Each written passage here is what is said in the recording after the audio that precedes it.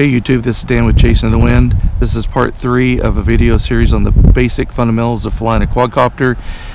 And today we're going to be talking about head-in flight, and that's when the nose is facing towards you. And that's probably the hardest part of the flying, is because uh, your controls basically are backwards. So what I mean by that is when it's facing away from you like this, left is left, right is right, forward is forward, and back is back but when you turn the quadcopter towards you like I have it right now and you see I want to go left but it went right and I'm bringing it left now but I'm having to go right stick. And to make it go forward I had to pull back on the stick to go backwards. I'm pushing forward on stick. So you see all the controls are backwards. So this is the hardest part of, and it's called head in because it's headed towards you.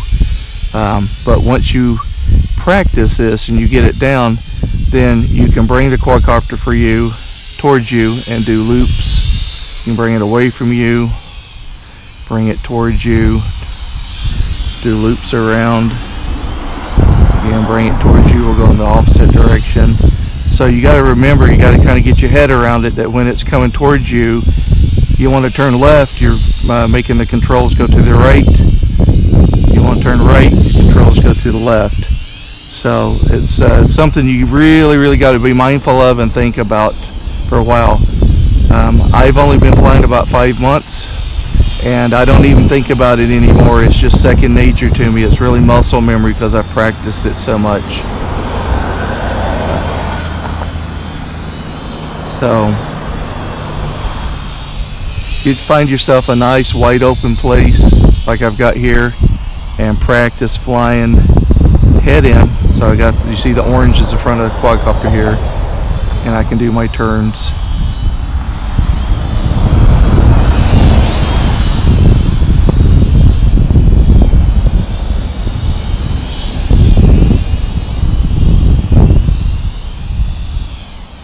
this is a perfect quadcopter to learn that on. Very docile. Very smooth. It's a very predictable quadcopter. It uh, there's a lot to like about it.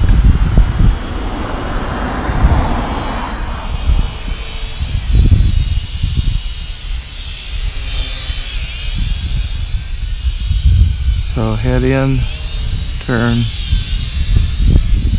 turn faster you turn the sticks, both sticks, the faster it will go in the other direction. The slower you turn, the slower it goes.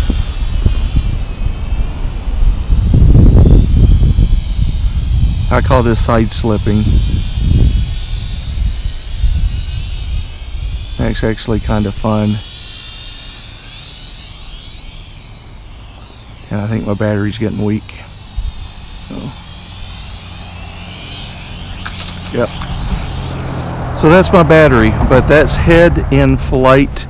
Essentially, as it's coming towards you, the controls are backwards. So when you want to um, turn, as it's coming towards you and you want to turn to the right, your controls go to the left. And if you want to turn to the uh, if you want to turn to the uh, left, then your controls go to the right.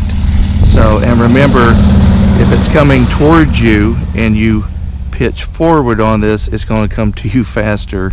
And so you have to go backwards to make it go away from you. So remember all your controls are backwards when you're doing head-in flight.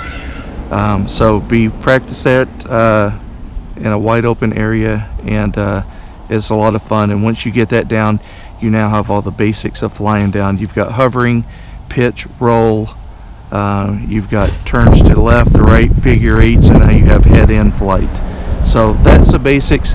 And really, the, the only way you're going to get good at this is to actually get out and practice this every day.